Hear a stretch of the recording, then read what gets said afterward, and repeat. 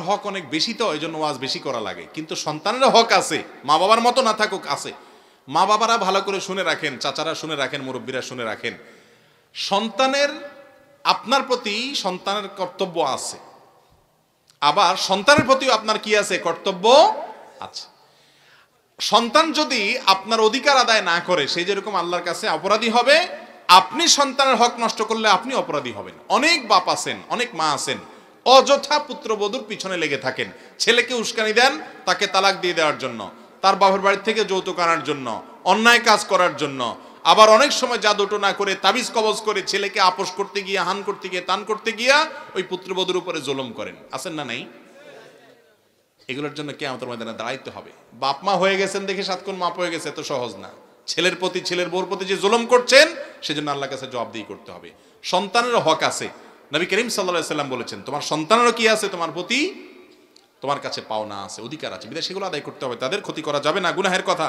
আর যদি জাদুতে আপনি যান, তাহলে সেক্ষেত্রে ভয়ঙ্কর অপরাধ আপনি করেছেন।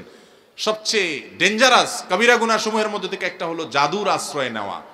এটা তো এমন একটা অপরাধ যেটাকে শরীয়তে জাদুকর যে জাদু করে, তাকে মৃত্যুদণ্ডের শাস্তি দেওয়ার কথা বলেছে অত্যন্ত কঠিনভাবে।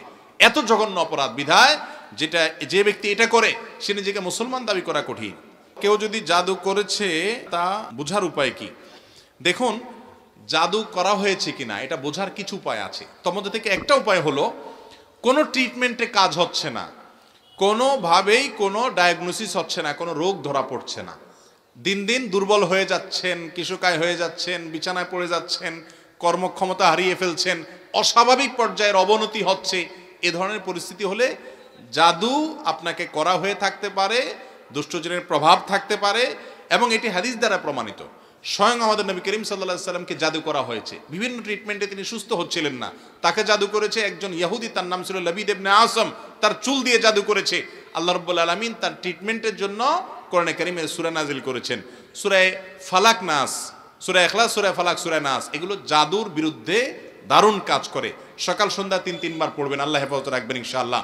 এছাড়া জাদু করা হয়েছে কিনা, যারা ঝাড়ফুঁক করেন কোরআনিসের আলোকে, এবং এই জাতীয় কাজ করতে গিয়ে অনেকে উল্টাপাল্টা করেন, মিথ্যার আশ্রয় নেন, প্রতারক টাইপের কিছু কবিরাজ আছে, সেগুলো না।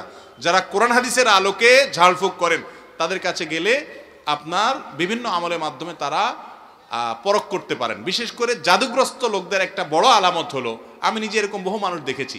দেখেন, যারা আমাদের অনেক ভাই আছেন, যারা অলৌকিকত্ব বিশ্বাস করেন না, এবং ইন্টারেস্টিং বিষয় হলো, তাদের ইমানে আসার জন্য এই একটা পয়েন্টই যথেষ্ট। জাদুগ্রস্ত রোগী, আমি জীবনে বহু দেখেছি যে কোরআনে কারিমের আয়াত তেলাওয়াত করার পর